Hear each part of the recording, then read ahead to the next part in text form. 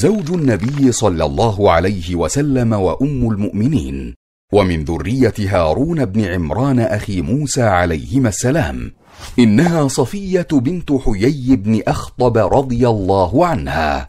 تزوجها قبل إسلامها سلام بن مشكم ثم خلف عليها كنانة بن أبي الحقيق.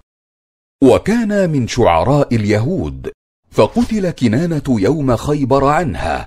وسبيت وصارت في سهم دحيه الكلبي رضي الله عنه فذكر للنبي صلى الله عليه وسلم عنها وانها لا ينبغي ان تكون الا له.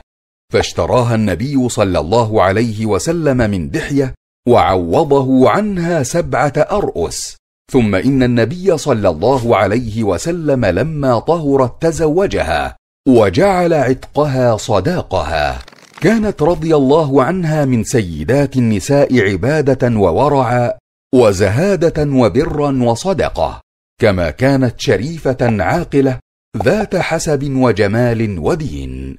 من خصائصها ما جاء عن أنس قال بلغ صفية أن حفصة قالت بنت يهودي فبكت.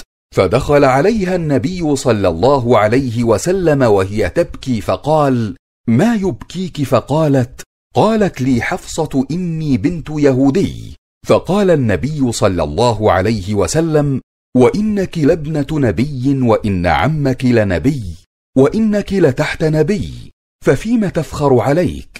ثم قال اتق الله يا حفصة.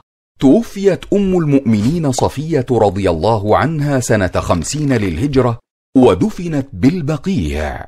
رضي الله عنها وأرضاها.